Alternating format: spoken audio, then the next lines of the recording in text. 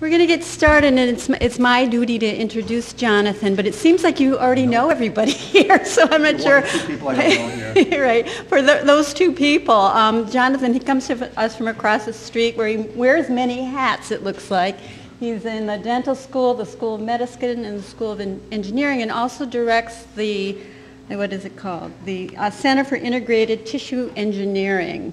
Um, where he works with his bioengineering and his skin equivalents um, with the goal to use these cells to personalize therapies for regeneration or repair of damaged or diseased tissues.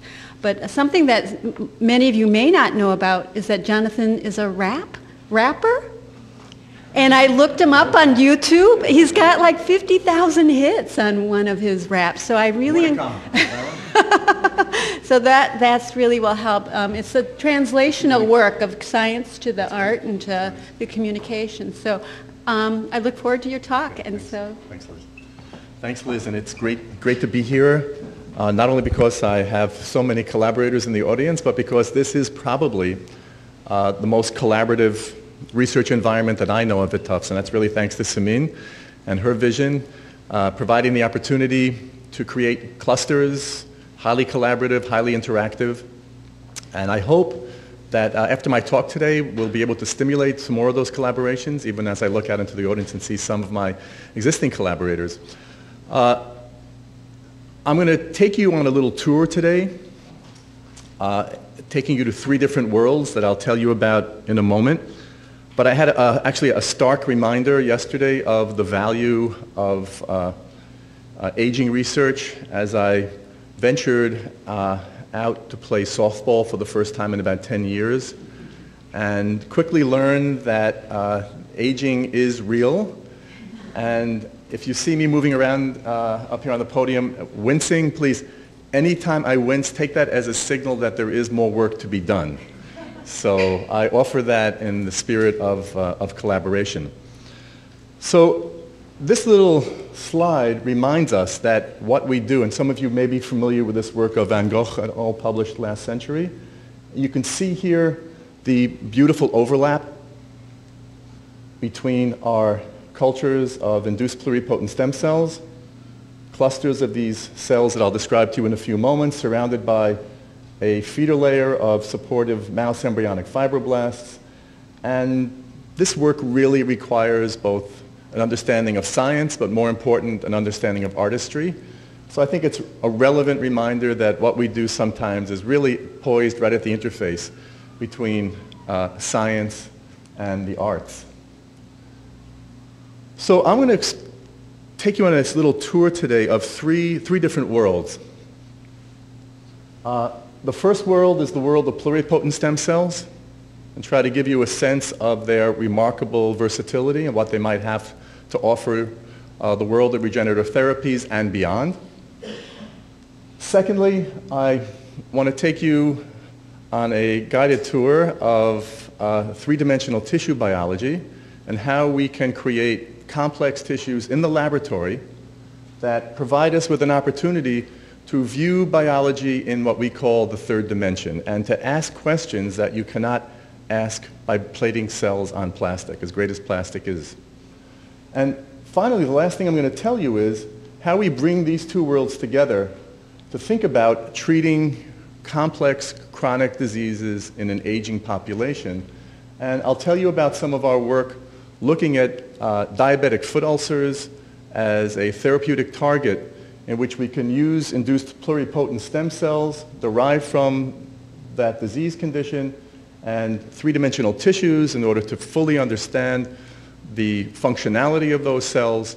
And I'll leave you hopefully with a message that will allow us to think about other chronic diseases, other diseases of the aging, of the aged, that uh, can use and leverage the best of both induced pluripotent stem cell biology and the best of three-dimensional tissue biology.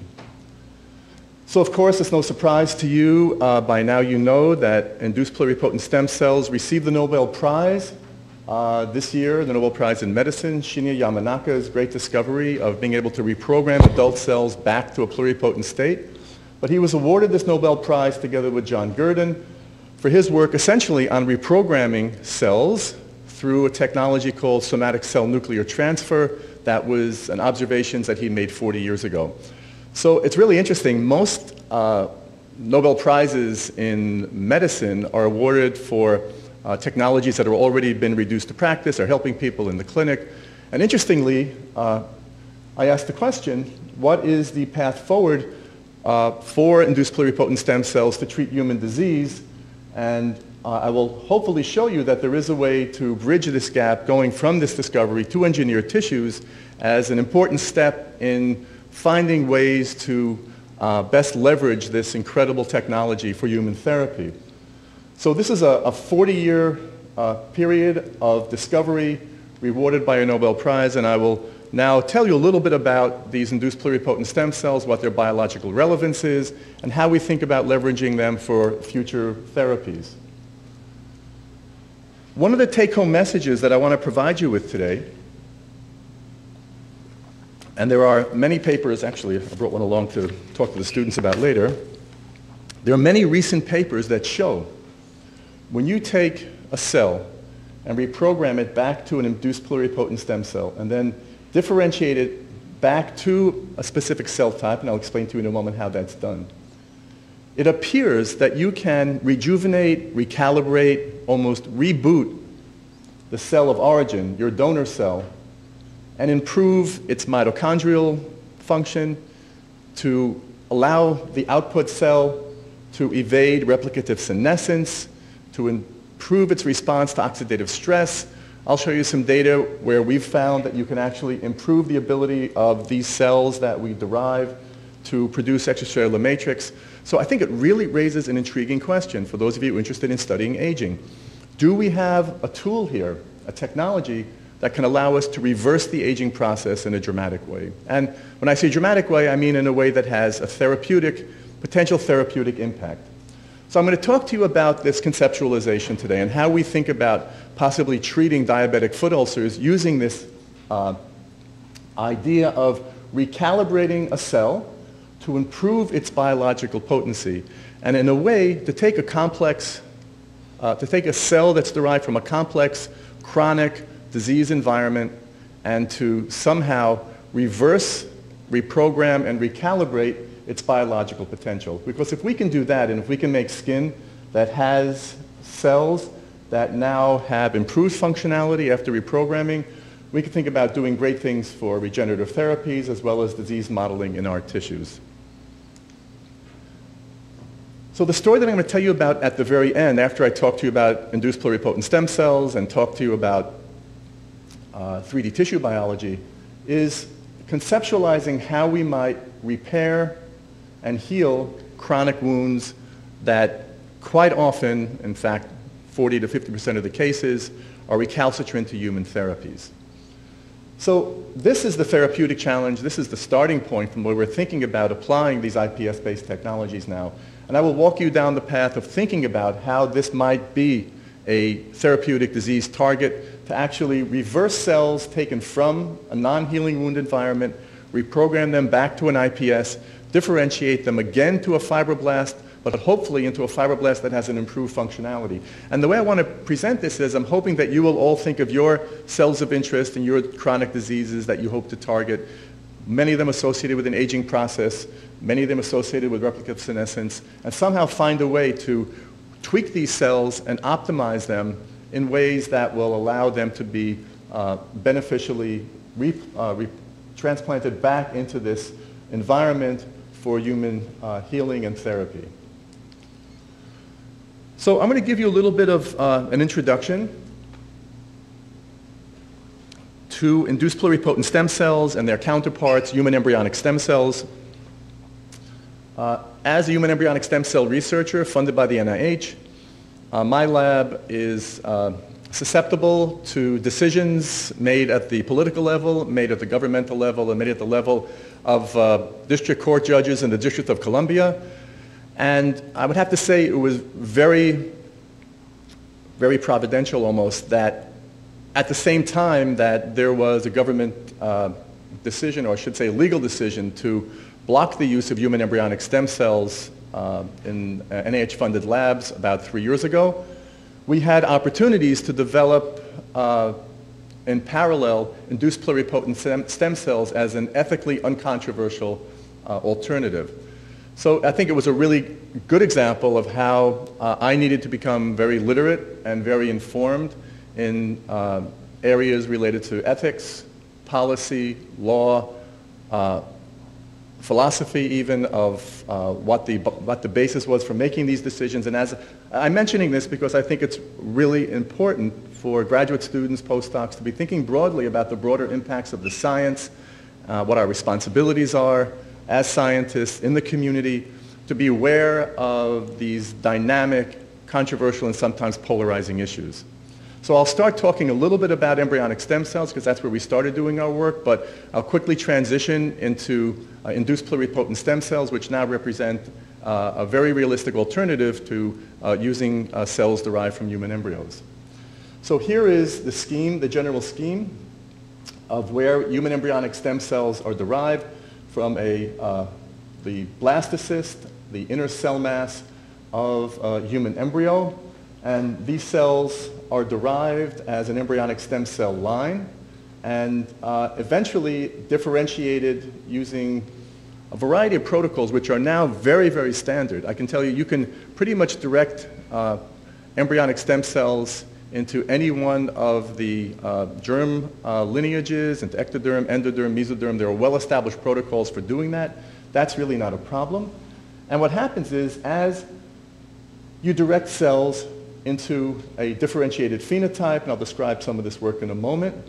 You uh, restrict the biological potency, and you move towards a differentiated cell that has an improved cellular function. So essentially, you're trading off the loss of pluripotency, and pluripotency means that these cells have the capacity to give rise to any cell type from any one of those three germ layers, and you're restricting these cells more and more by differentiating them in an environment where we have a chemical signal as well as an attachment substrate that can specify both lineage fate as well as cell outcomes. So ultimately, the goal of differentiating embryonic stem cells is to acquire a cell that's functional, that's well characterized, and allows us to think about potentially using this for human therapy. So as I mentioned several years ago, uh, Yamanaka's group and then Jamie Thomson's group at the University of Wisconsin developed this groundbreaking technology to take a cell from an adult, isolate and harvest fibroblasts or many other cell types for that matter, to transfer, at that time the discovery was four genes into those cells to reprogram them back to a pluripotent state. And essentially they found that these cells were equivalent to the human embryonic stem cells that were uh, derived from a human embryo. These cells could then be differentiated. We already had a significant body of knowledge over the six to eight years before their discovery. We used a lot of the differentiation protocols that were available from what we understood about human embryonic stem cells. And these cells could be differentiated into a cell of choice and provide opportunities now for human cell therapies. But an even lower hanging fruit is if you think about it, you now have an opportunity to have a patient-specific cell type differentiated into a particular cell lineage that you can use as a disease model to perhaps screen new therapeutics, to understand something about the pathogenesis of these diseases. And it's certainly an interesting and exciting opportunity that uh, I can mention a little bit more about towards the end. So here you have two distinct sources of pluripotent stem cells, many of which are able to generate uh, a variety of different cell types. Our cells of interest are human skin, uh, human skin fibroblasts in particular, but this is a really still a big question mark in the field. Are these two sources of cells equivalent?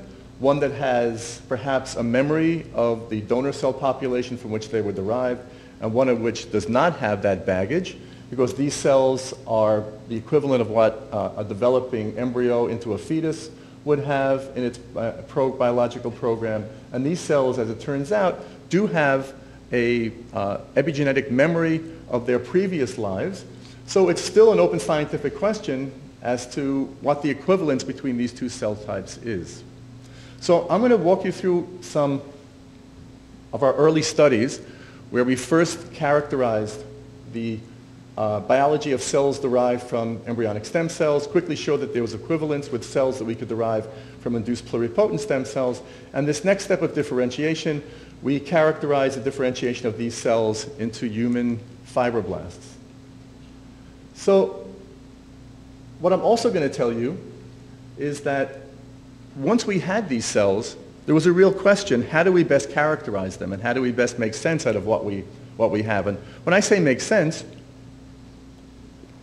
I really mean asking the question, what's the best way to characterize their paracrine features, angiogenic features, transcriptional features, and then to use three-dimensional tissues, actually take these cells, put them into the complex microenvironment of in vivo-like tissues to really understand their functionality. And I'll get back to that point in a few minutes because many of us have looked on a plastic dish and say, we've got some nice mesenchymal cells here, cells with a mesenchymal morphology, but how would you really know what those cells are unless you had a complex microenvironment in which you could put those cells and really understand their functionality when they're placed into an environment that mimics what they would do in vivo. So I'll get back to that point after I show you a little bit more about the cell characterization.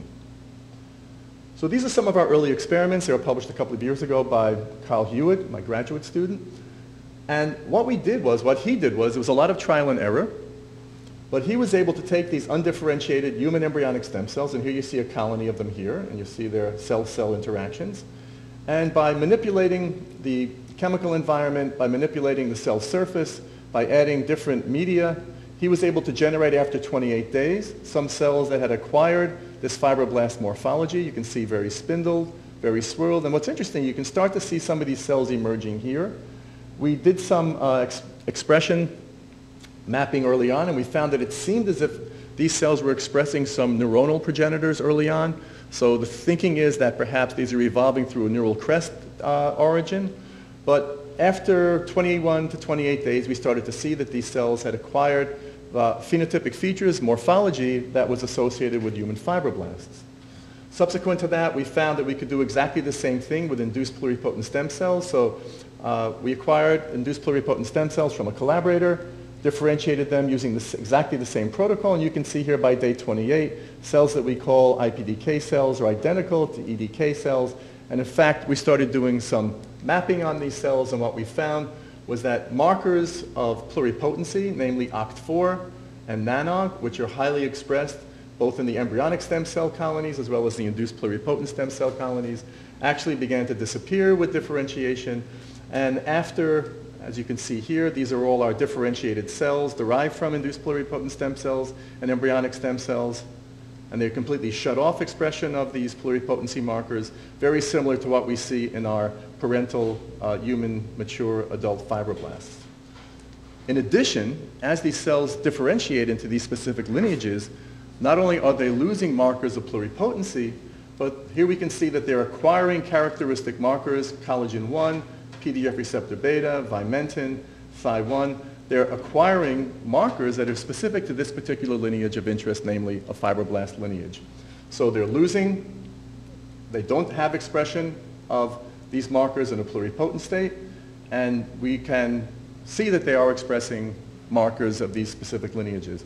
So what's quite striking and remarkable about doing this is if you think about what people are doing within 28 days on a plastic dish, is that they're recapitulating some of these developmental stages of lineage commitment that are usually occurring uh, in a human embryo uh, over the course of a much longer period of time.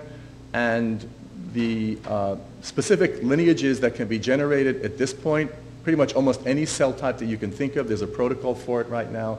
And it's pretty remarkable that within 28 days, you can shift cells using these chemical signals into uh, lineages that are typical and characteristic and quite similar to those seen in an adult.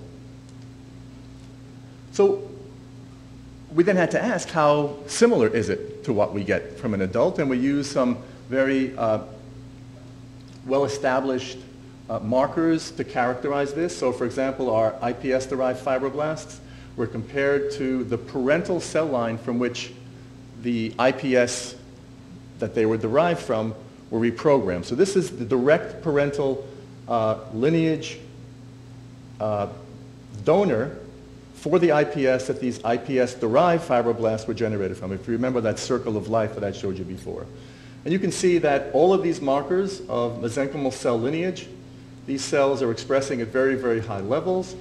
And you can see that markers of uh, endothelial cells, uh, hematopoietic lineages are not expressed either in the control fibroblasts or in the cells that we derive from these IPS or ES cells. So we thought, wow, that's really interesting. That's cool. What else can these cells do? How versatile are they? So we did some quick screens on them and looked at uh, their supernatants and ran a uh, uh, screen to see what their angiogenic profile might be. And sure enough, both these IPS-derived fibroblasts and the ES-derived fibroblasts expressed, elevated levels of many uh, of these angiogenic growth factors. And in fact, when we took these cells and seeded them onto a, uh, a fibrin bead assay, here we have beads surrounded by fibrin with endothelials attached to them. We did these sprouting assays in the presence of either the IPS or the ES derived uh, fibroblast, and we saw that they did induce uh, sprouting of these endothelial cells, suggestive of a highly angiogenic phenotype associated with these cells that were differentiated from uh, the induced pluripotent stem cells. We then further characterized the angiogenic properties of these cells and took the cells and co-cultured them together with uh, HUVEC cells, with endothelial cells at different ratios. And what we found was that both of these, uh, both IPS as well as ES-derived cell lines were able to form these uh, organizing tubules in which they were able to co-localize. These cells were co-localizing together with these endothelial cells, suggesting that there may be some relationship or perhaps an, uh, a pericyte phenotype associated with some of these mesenchymal cells that have this fibroblast phenotype. And we'll talk about that a little bit more uh, as we proceed. So one of the great features of reprogramming back to IPS is that the cells undergo a wholesale epigenetic remodeling.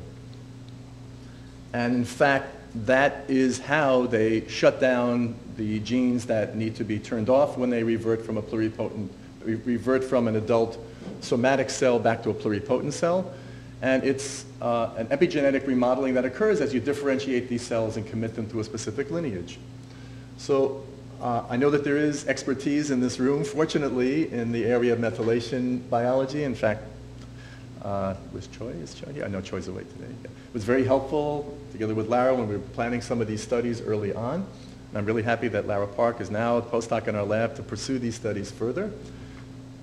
But the opportunity to look at patterns of methylation that change with reprogramming provides uh, some information that tells us something about not only this epigenetic remodeling, but also points us to some targets that are differentially expressed before and after reprogramming. So we performed a series of studies and a series of screens essentially comparing the uh, input donor fibroblasts that we reprogrammed, the IPS derived from them, and the output uh, fibroblasts derived from those IPS. And we looked specifically at patterns of methylation that were present in specific promoter regions of uh, many, many genes. And as some of you know, the, uh, uh, what we're screening for are the CPG islands that are found in uh, conserved promoter regions of the genome where we can determine that the CG base combination, which uh, can point us towards genes that are uh, regulated by methylation, whose expression is regulated by methylation during the reprogramming and after differentiation from IPS. So in principle, methylation, as you'll see, is associated with, with repression of gene expression. Demethylation is associated with expression of, gene ex uh, expression of these genes. And we compared our input, here we see the input IPS and embryonic stem cells to the output IPS and, EP, and uh, human embryonic stem cell derived fibroblasts.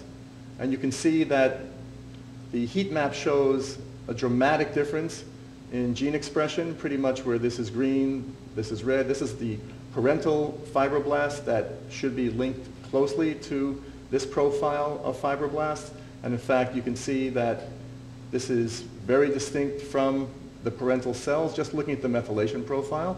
And we actually found a lot of methylation uh, uh, at promoters following differentiation that allowed us to identify uh, what we would call differentially methylated regions that were uh, methylated during uh, the IPS state and then uh, demethylated during differentiation.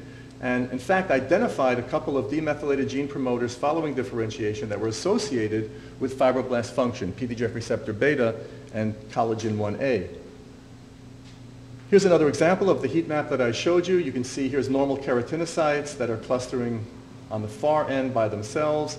Here we see all of the parental human embryonic stem cells are different uh, IPS lines. And here are the fibroblasts that were differentiated from them, clustering very distinctly, together with the parental fibroblast line that gave rise to these induced pluripotent stem cells. So it's clear that there's a genome-wide clustering of methylation that shows similarities between the parental fibroblasts and the fibroblasts that were derived from these IPS, but the methylation patterns were very distinct in the induced pluripotent stem cells. Uh, we became very interested in looking at the methylation of the PDGF receptor beta and found that in the uh, parental uh, IPS and human embryonic stem cells, methylation was high, expression was low, and with differentiation in all of our lines, we found that methylation was dramatically decreased at this promoter site and expression was elevated. But the technology that we used to do this was a methylation chip that allows us to screen for only one CPG site per promoter. So while it gives us a readout of CPG sites, whether they're methylated or unmethylated, throughout the genome, it's only characterizing one particular methylation site uh, per promoter. So what we needed to do was to go back and say, was what we were seeing, that demethylation that occurred in the PDGF receptor beta promoter in our IPS-derived fibroblasts, whether that was indeed the case of demethylation throughout all the multiple CPG sites in the PDGF receptor beta promoter. And what we did was a bisulfite sequencing and mapping of the, uh, all these uh, methylation sites, all the CPG sites in the PDGF receptor beta promoter in multiple clones. This has to be done with multiple clones just to verify that it's not just one particular clone of the cells that are growing out. And indeed what we found was that the parental ES and IPS were intensely methylated in the PDGF receptor beta promoter and the fibroblasts derived from them showed uh, complete loss of methylation in most of these clones, very similar to what we see in the BJ parental fibroblast. So again, these are the parental fibroblasts, reprogrammed back to an IPS, differentiated back to fibroblasts. So you can see that there's uh, clearly a strong uh, change in the methylation profile of these CPG sites that was associated with patterns of gene expression in this particular gene. So this told us that indeed we can use DNA methylation profiling to study the behavior of these uh, cells that are derived from a pluripotent stem cell source and in fact developed a signature of fibroblast-like cells that were derived from them and I'll explain to you a little later on why we're so excited about this when I tell you about the potential of leveraging these types of readouts for studying the uh, phenotypes of cells derived from a diabetic foot ulcer. The other thing that this tells us is that we can identify very specific targets using these screens that may reveal genes that are associated with an improved function after reprogramming. One of these is the PDGF receptor beta, which is known to be important for the function of mesenchymal cells, of fibroblasts, of pericytes, and that was just one of many targets that we are thinking may indeed be modified or modulated after reprogramming when you start with a cell that's originally derived from a complex disease environment. So one of the observations was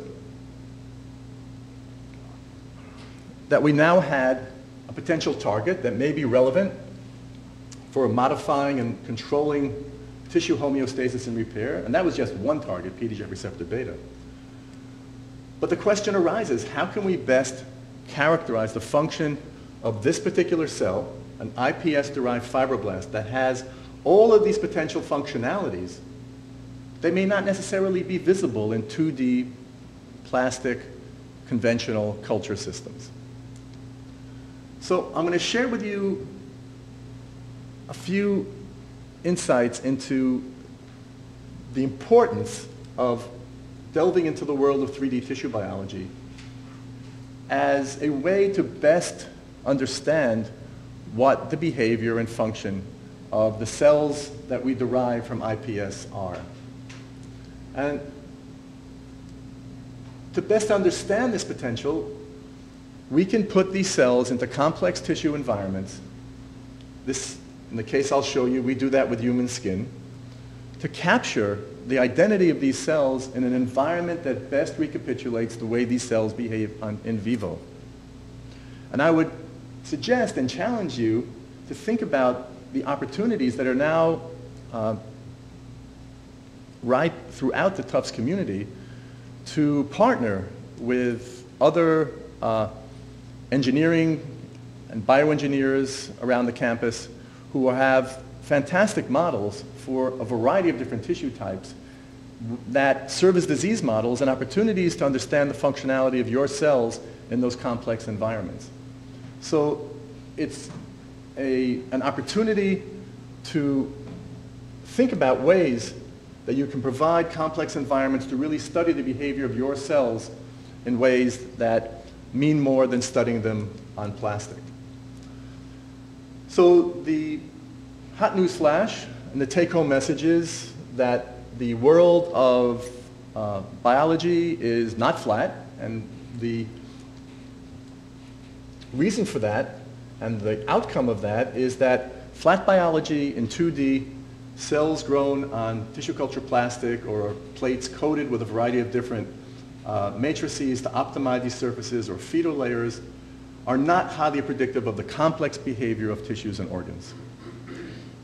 Those of us who work at the interface of 3D tissue biology know that when you take cells from plastic and put them in a complex environment where they have an opportunity to crosstalk with other cell, other cell types, uh, interface with meaningful biological interfaces between tissue compartments, that things change dramatically.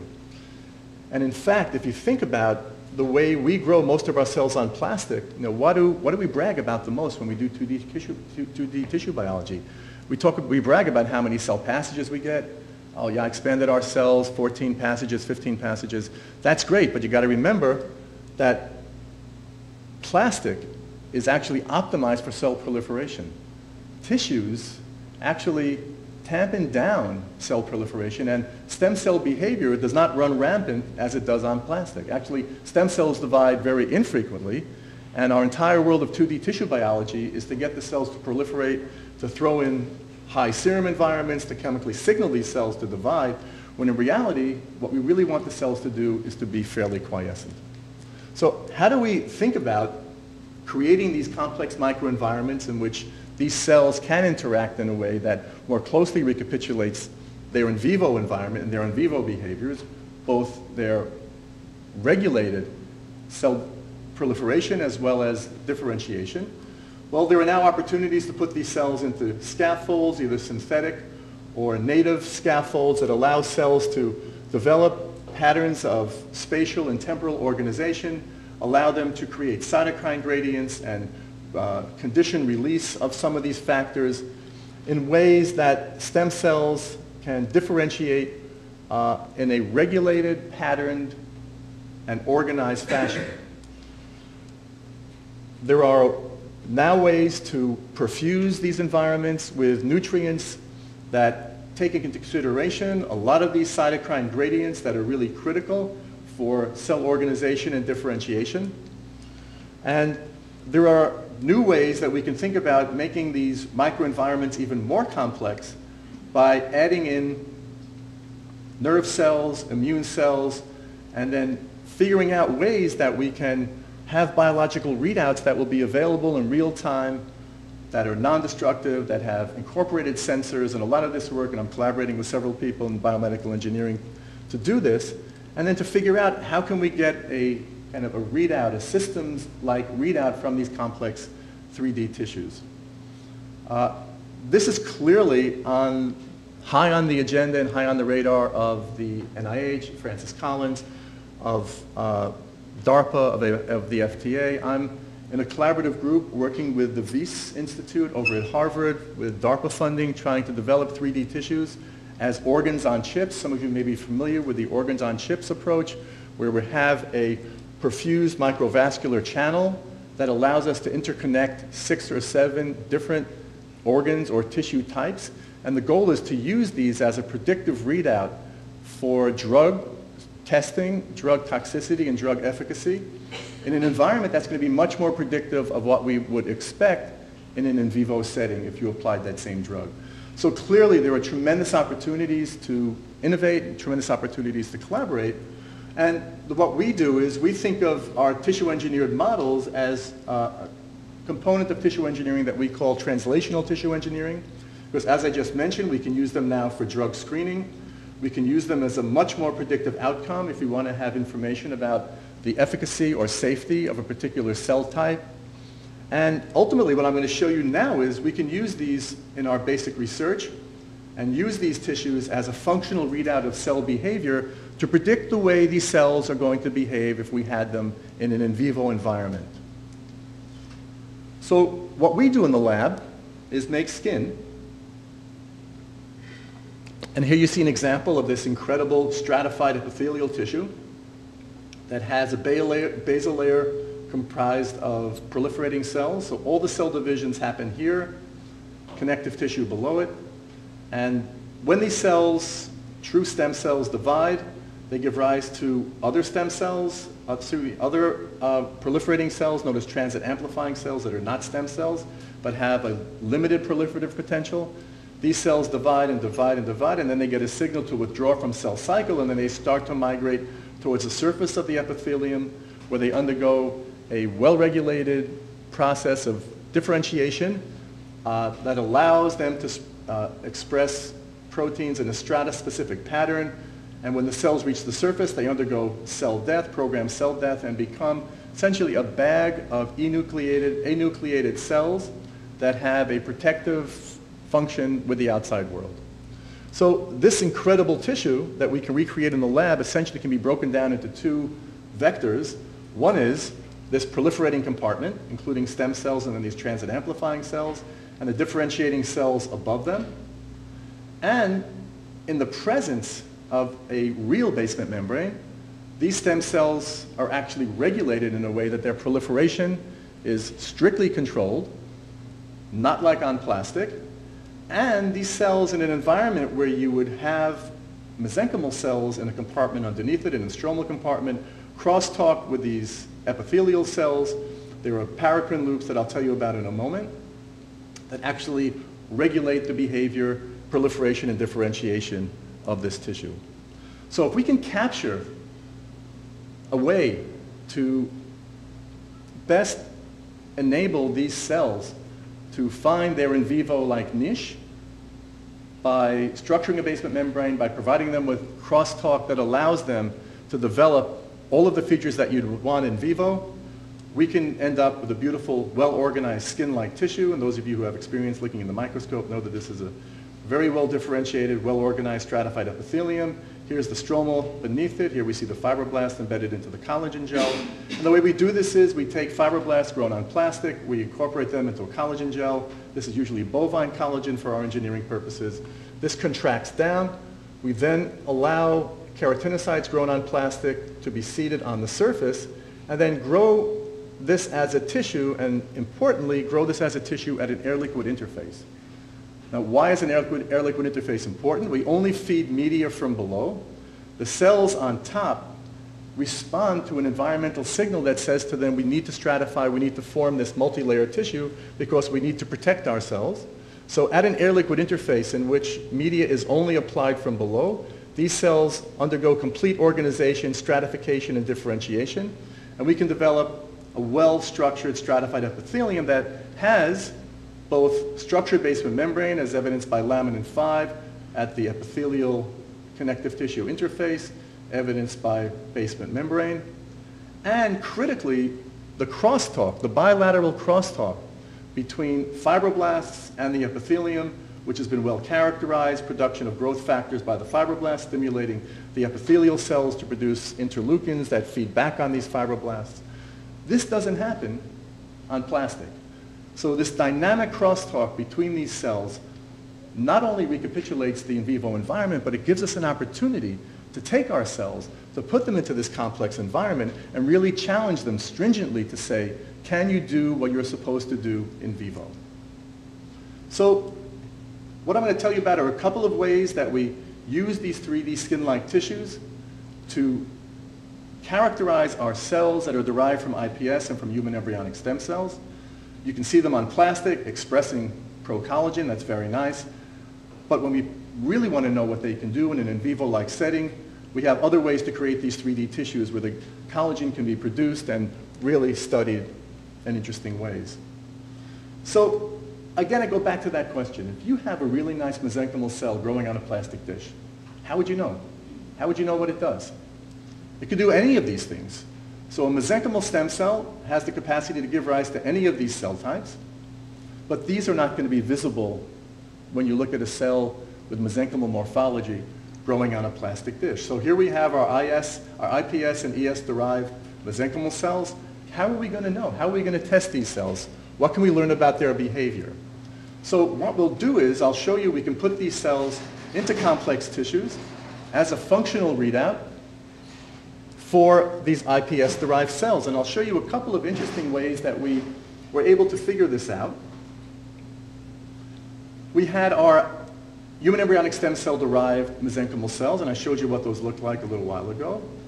And then we had another cell line that we got from some colleagues that were derived from human embryonic stem cells, but they were differentiated and sorted using a CD73 marker for a mesenchymal cell that actually grown out in a mesenchymal stem cell-like media. And they found that these cells actually had a mesenchymal stem cell-like phenotype and that they could give rise to bone and cartilage. So we thought they might be a pretty good control for these cells. So indeed what we did was take those cells as a control. We found that they did make fat and they did make bone. And interestingly, our IPS-derived mesenchymal cells or fibroblasts did not make either one of those two products. Okay, so does that tell us anything? Well, it tells us what these cells are not, but it doesn't tell us what they really are.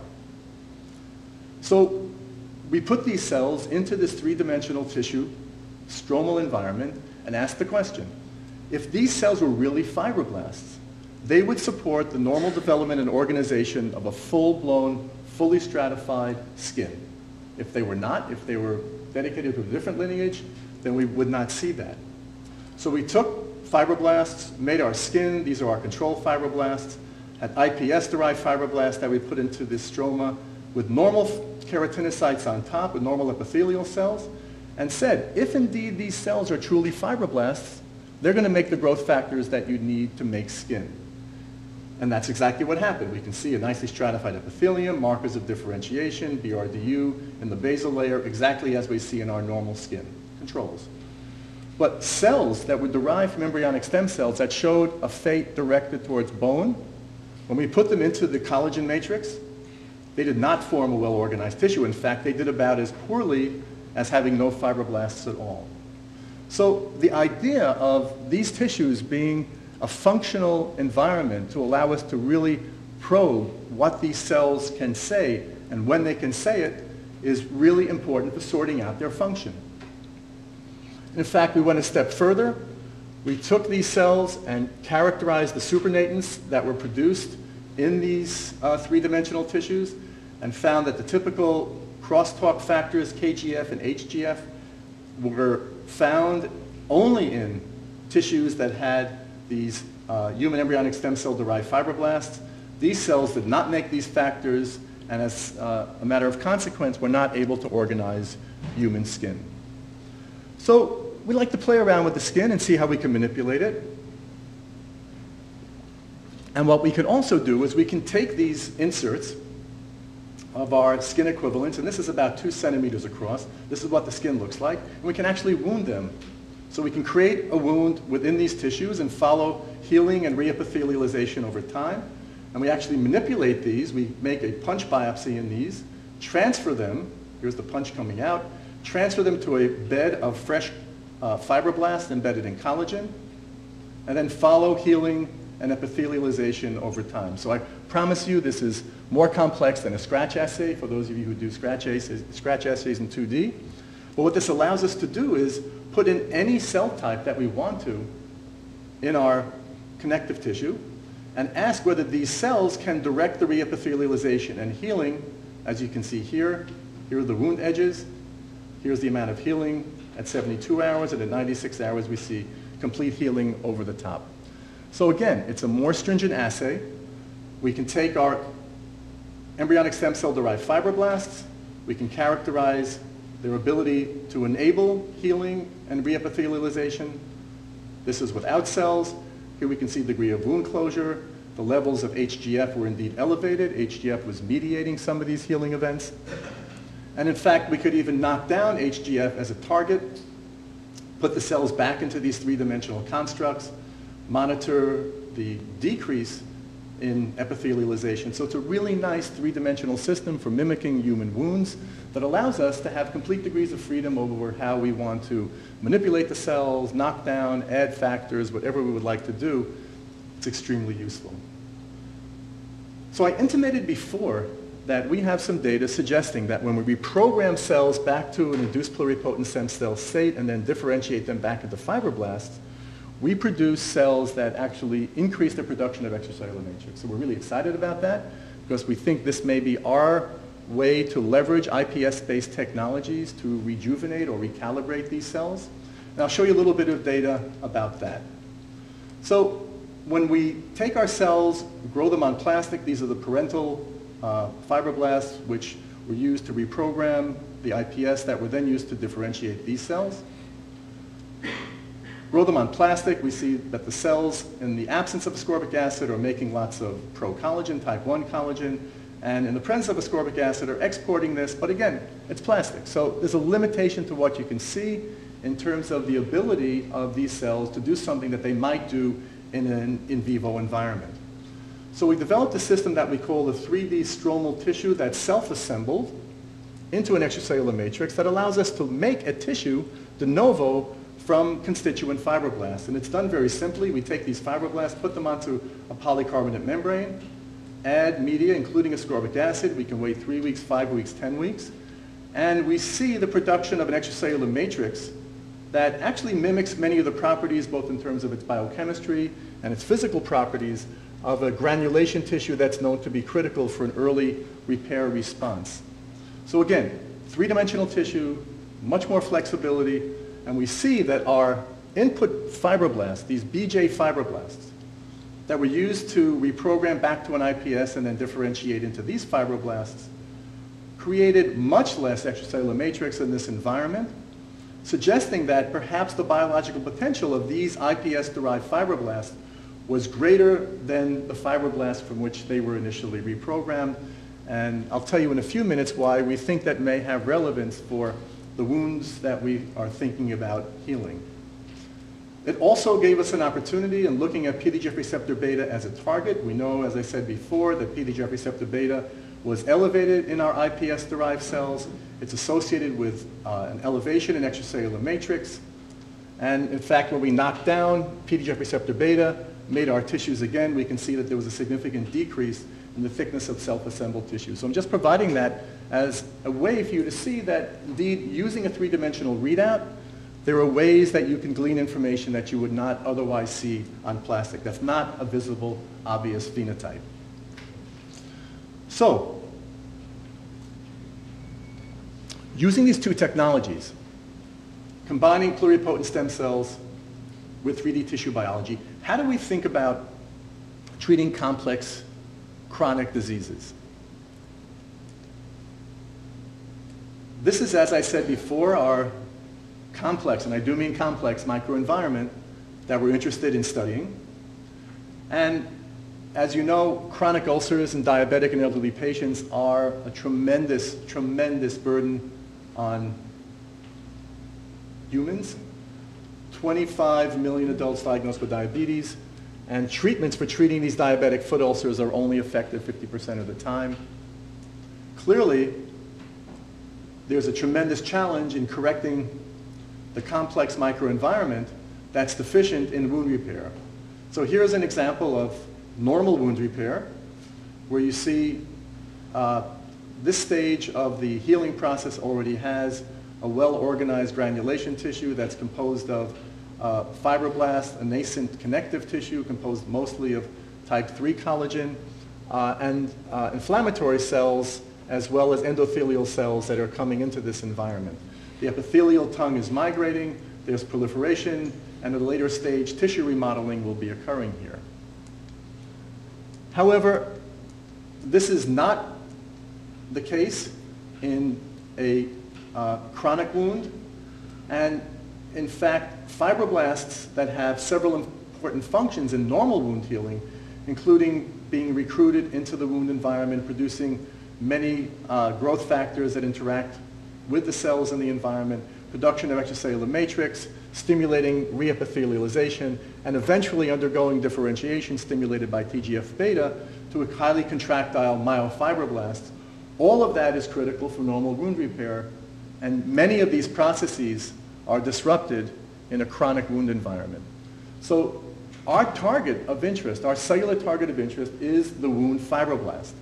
And our goal is to reprogram these cells back to an IPS state, differentiate them back to a fibroblast, and to understand some of these phenotypes that may be most relevant for the repair of chronic wounds. We are hypothesizing that the epigenetic program of these cells, when they're reverted from their disease state back to an IPS and then differentiated to a fibroblast again, will be what will allow us to recalibrate the biology of these cells. So if, for example, in a normal fibroblast, you have methylation of the somatic fibroblast at particular promoters that are important for uh, fibroblast function, you revert that back to an IPS, they undergo demethylation, those genes are expressed, and when you differentiate them back to a fibroblast, the promoter targets undergo methylation again, and those targets are shut down. In contrast, you might have a normal signature that's expressed in a somatic fibroblast, shut down and methylated in an IPS, and then differentiated, uh, re-expressed back in a normal fibroblast after differentiation. So imagine what might happen in a disease environment. So here's an example of a disease-modified signature. Ideally, in a fibroblast, you want this promoter to be methylated and shut down, as in a normal fibroblast. Here in a disease environment, because of a variety of factors controlling its behavior, this gene is aberrantly expressed, either expressed or suppressed when it should be just the opposite. The thinking is by reprogramming these cells back to an IPS, you can reset this epigenetic program, and then when you differentiate, differentiate these cells back to a normal fibroblast fate, they will reacquire the patterns of expression that are found in normal differentiated fibroblasts, thereby reversing this disease-modified signature. And the way we think about it, I mean, this is a complex disease. It may be enough to change four or five of the important mediators of wound healing and wound repair in order to jumpstart this process. You don't have to think about changing every pattern of gene expression, but maybe just enough to get this process started. So I'll tell you in the last five minutes about what we're doing to explore this question. And we're actually harvesting cells from a broad variety of diabetic foot ulcer patients. Three categories of patients that we're sampling. Some patients that actually have diabetic foot ulcers, some patients that have uh, no ulcers but are diabetics, and some patients in which the, there is no ulcer and the patients have no diabetes. We harvest these cell lines. We have complete medical histories on these patients. This is patients that we are working with Beth Israel Hospital with their division of podiatric medicine. We characterize these cells after growing them, making sure that they are indeed fibroblasts based on flow cytometry. And most recently, Anna Maione in our lab has done a microarray analysis by grouping these foot ulcer fibroblasts, comparing them to the diabetic patient fibroblast from a non-ulcer, and looking at normal patient fibroblast as well. And we've seen some interesting clustering where the normal patient fibroblasts, for the most part, cluster using the hierarchical clustering analysis. This is just gene expression. This is not methylation. And it allows us, with a reasonable degree of uh, confidence now, to say that these are typical and characteristic for a certain phenotype. Cells derived from the diabetic foot ulcer environment will be the uh, cells that we hope to harvest and to repair. So if we think about what it is that we hope to repair, how can we make a cell better through reprogramming? What are the features of a fibroblast that it's deficient in in a chronic wound environment that we hope to reverse? So here they are. There's a whole bunch of targets here. Growth factor production, evading cell senescence. It's known that fibroblasts derived from diabetic foot ulcers are undergo premature senescence. And actually, this is one of the papers that I wanted to share with the students today. It's known that you could take a fibroblast from a 100-year-old patient, revert it back to an IPS, differentiate it once again to a fibroblast, and you actually allow that cell to evade replicative senescence and to avoid having its, telom uh, its telomere shortened. What the fibroblast secretion profile would be, what fibroblast supportive epithelialization is, and how we would activate angiogenesis. So we want to take cells from a diabetic environment that are actually deficient in all of these functionalities, and I won't show you the data, but ultimately the goal is to use all of our screening technologies that I just described a few moments ago, using our 3D tissue models for repair, for ECM production, for reepithelialization, for their ability to support healing and to use those as readouts that will allow us to compare the properties of fibroblasts before reprogramming and then after differentiation from these IPS.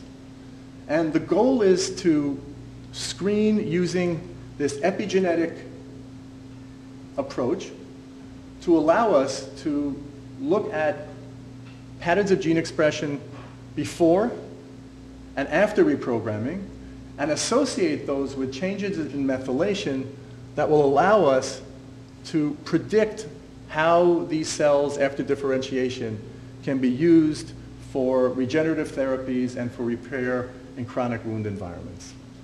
Here is a somewhat dated photo of many people who did the work. Kyle uh, Hewitt, my PhD student, Yulia Shamis, also a PhD student, re recently graduated, Anna Maione, who's done a lot of the work on the diabetic foot ulcer fibroblasts, and I'll be happy to take some questions. Thank you very much.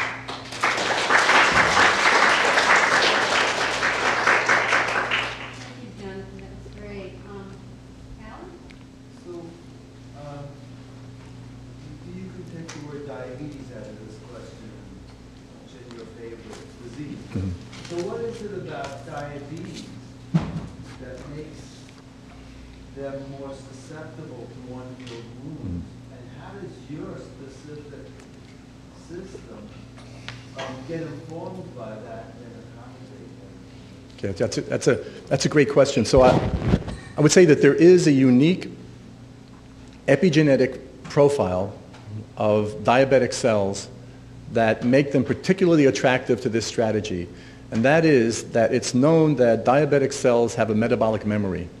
That after you take them out of, out of a hyperglycemic environment, they maintain patterns of gene expression that are associated with a hyperglycemic environment. And it's known that those are mediated by histone modifications, and those have been studied mostly in endothelial cells and not as much in fibroblasts, and we hope to do that. Lara will be taking that on as well. So that's reason number one. And what's interesting, when I describe this, the conceptualization of an epigenetic memory that exists between the donor population and the output population from an IPS, there's a clear opportunity to best take advantage of that epigenetic memory since we're going from fibroblast to IPS back to fibroblast. It's been shown that if you go from blood cell to IPS to fibroblast, there are epigenetic patterns imprinted on the output fibroblasts that may make them want to go back to their hematopoietic precursor state.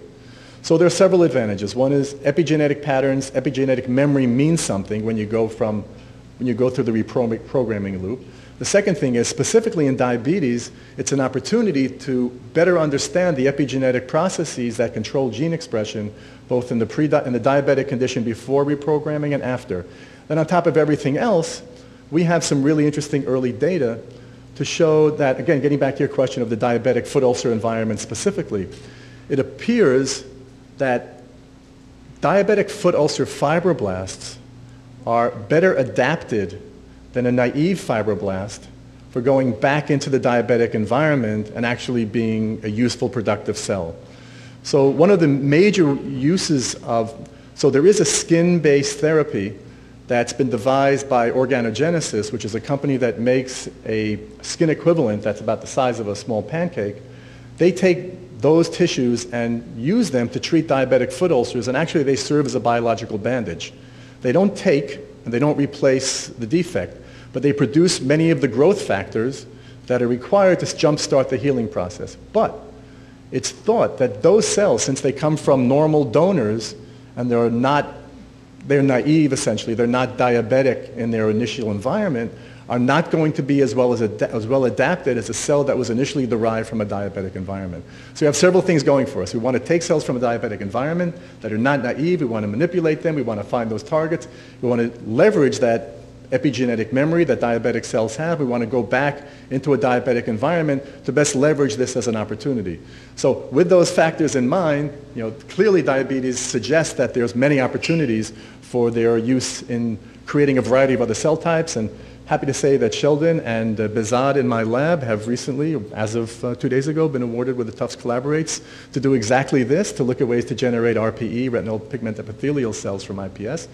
Any cell type you can think of is fair game, differentiating it, differentiating it from an IPS.